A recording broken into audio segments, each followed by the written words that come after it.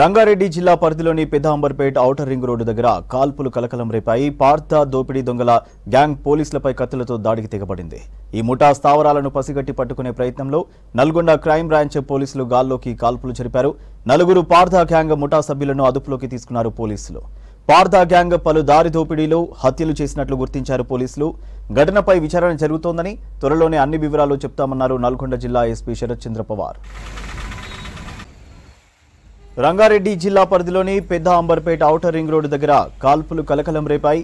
పార్థ దోపిడీ దొంగల గ్యాంగ్ పోలీసులపై కత్తులతో దాడికి తెగబడింది. ఈ ముఠా స్థావరాలను పసిగట్టి పట్టుకునే ప్రయత్నంలో నల్గొండ క్రైమ్ బ్రాంచ్ పోలీసులు గాల్లోకి కాల్పులు జరిపారు. నలుగురు పార్థ గ్యాంగ్ ముఠా సభ్యులను అదుపులోకి తీసుకున్నారు పోలీసులు.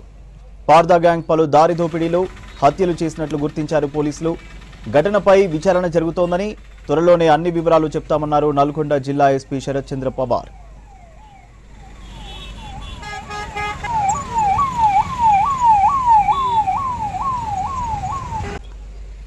రంగారెడ్డి జిల్లా పెద్దాంబర్పేట రింగ్ రోడ్డు దగ్గర గాల్లోకి కాల్పులు జరిపారు పోలీసులు. దోపిడీ దొంగలు పార్థా గ్యాంగ్ కత్తులతో దాడికి దిగడంతో ఫైరింగ్ చేశారు నల్గొండ క్రైమ్ బ్రాంచ్ పోలీసులు.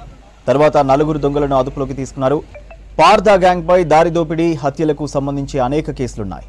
వాళ్ళ స్థావరాలను తెలుసుకుని పట్టుకునేందుకు ప్రయత్నించడంతో పోలీసులపై అటాక్ చేశారు. దీంతో పోలీసులు గాల్లోకి కాల్పులు జరిపారు. ఈ ఘటనపై విచారణ జరుగుతోందన్నారు నల్గొండ జిల్లా ఎస్పీ శరత్చంద్ర పవార్. త్వరలోనే అన్ని విషయాలు చెబుతామన్నారు